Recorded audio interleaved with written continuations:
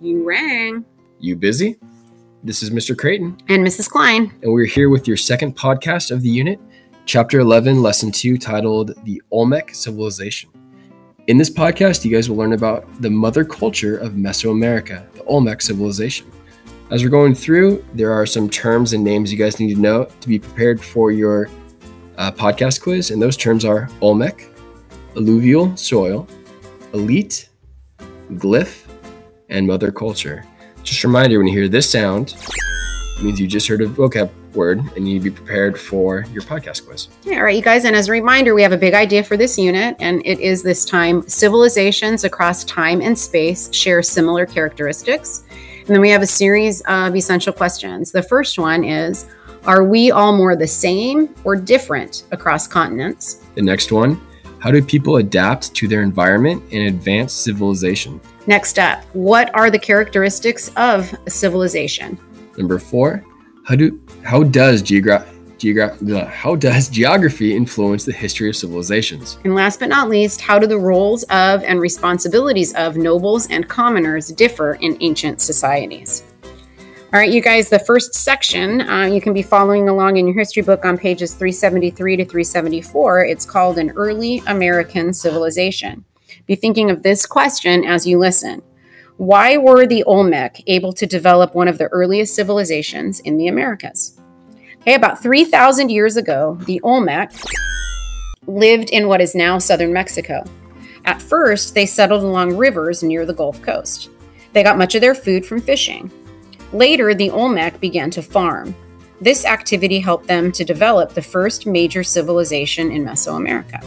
The Olmec realized that the flatlands near rivers were good for growing crops. The alluvial soil, soil deposited by running water that covered these lands, was very fertile. In time, farmers began to do very well in this region. As a result, the food supply increased. It also became very steady. With a steady food supply, the Olmec population grew. Also, the steady food supply meant that not everyone had to farm. This is something else, you guys, that should sound familiar to you. Because again, if not everybody is having a farm, we can be involved in a wide variety of other kinds of things. So, this allowed some people to focus on other tasks. Some became potters or weavers, others became priests or teachers. As the Olmec population grew, so too did their farming villages. Some of these villages developed into cities. By 1150 BC, the Olmec had built a large sil- had built a large city that is now called San, San Lorenzo. The center of the city contained raised mounds or large and large stone monuments. The monuments were used for religious ceremonies. San Lorenzo also had areas used for trade. In addition, the city had, had housing areas where Olmec priests and rulers lived. Another huge Olmec city began to grow around 900 BC. This city is now called La Venta. Eventually, it replaced San Lorenzo as the center of the Olmec civilization. Like San Lorenzo, La Venta served as a religious tra- and a trade center.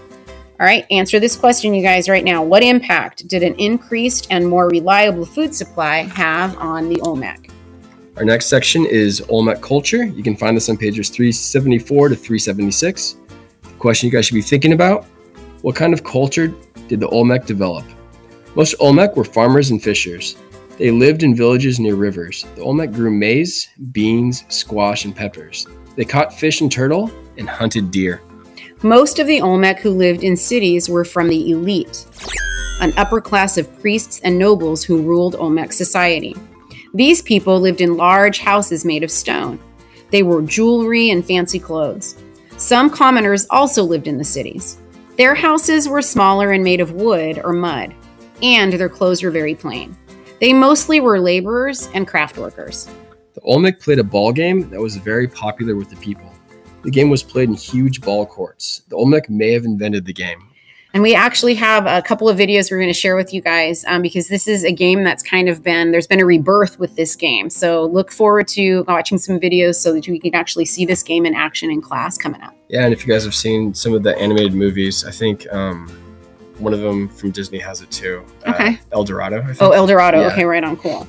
All right, San Lorenzo and other Olmec cities contain several huge stone heads. Each head has a flat face, thick lips, and staring eyes. The purpose of these heads remains unknown. They may be monuments to Olmec rulers, or they could be famous ball game players. The Olmec made the heads out of basalt, a kind of volcanic rock. The Olmec also made small sculptures out of jade. Other Olmec art included pottery and cave paintings. The Olmec used an early form of glyph writing. Glyphs are pictures that represent words, syllables, or sounds. They use this writing to record events, dates, and to tell stories. The Olmec also developed a very accurate calendar. All right, the Olmec worshipped several gods. The chief god was the jaguar. They probably believed that the jaguar god brought rain. The Olmec also worshipped, a fire god and a corn god. As you read and listened to earlier, the Olmec built large mounds in the centers of their cities. Later, the Olmec replaced these mounds with pyramids. The Olmec probably used the pyramids as religious centers. Okay, be thinking, and hopefully you can answer this question How was Olmec society organized? All right, guys, our final section is the Olmec legacy. You can find this on pages 376 to 377. Question we want you guys to be thinking about why did Olmec culture have a lasting influence in Mesoamerica? Most Olmec cities served as trade centers. The Olmec mainly traded for fancy items that the elite wanted. These items included valuable stones and iron ore. Ideas also were exchanged at Olmec trade centers. As a result, the Olmec culture spread throughout much of Mesoamerica. Around 500 BC, the Olmec began to leave their cities. The reason for this remains unclear. By 400 BC, the Olmec civilization had largely disappeared. Even so, it had a huge impact on Mesoamerica. Many historians considered the Olmec civilization the mother culture of Mesoamerica. A mother culture is a way of life that strongly influences later cultures. Olmec culture and customs shaped the Mesoamerican cultures that followed. These cultures included the Zapotec, the people of Teotihuacan. Teotihuacan. I tried, bless you. the Aztec, and especially the Maya.